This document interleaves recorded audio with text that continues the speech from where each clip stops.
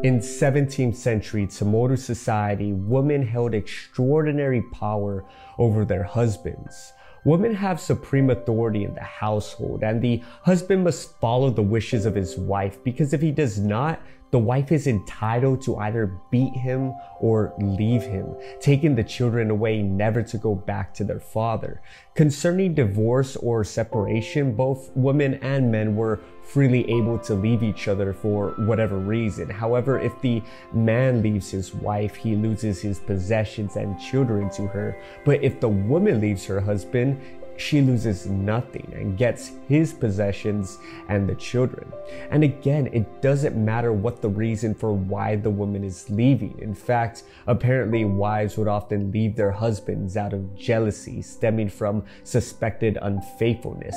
And if it turns out that the husband was indeed unfaithful, the offended wife has various ways of punishing him. One way involves the wife gathering other women in the village. They would arm themselves with spears and go to the unfaithful husband's house and devastate his plants. And if for some reason the husband is there instead of wisely leaving beforehand, the woman would either throw him out of the house and or attack him and abuse him tremendously. Another method of punishment towards the unfaithful husband is for the wife to simply just leave the husband and take away the children.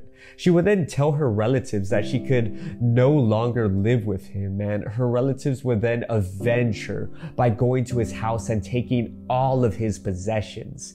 A man was considered lucky if he only lost his possessions because sometimes the relatives would destroy the house. Now, if it was the other way around, if the woman was the one being unfaithful, it was considered less serious. The man was in no way allowed to harm the woman. At worst, the man could leave her, but as stated already, he will lose the children and his possessions.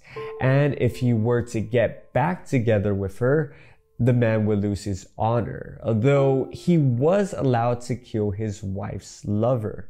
The unfaithful wife would not go completely unpunished, however, as she would lose her possessions after judgment, but it's not clear whether these possessions go to the husband.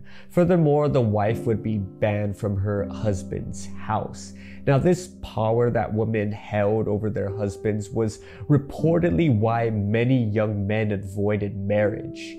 When Christianity entered the Marianas in the late 17th century, the power dynamic of women dramatically changed. Christianity viewed marriage as a sacred and lifelong union to God, rather than something that could be freely ended for whatever reason as it was in 17th century CHamoru culture. While both women and men found the Christian lifelong ideal of marriage to be burdensome, it was reported that women especially found it difficult to follow the laws of Christianity regarding marriage because they were now forced to stay with their first husband for life. While today women have power in the household, they no longer have the absolute power of their husbands as it was prior to colonization. At least for some families. Sezus Masi for watching Guahu si Pulan Esta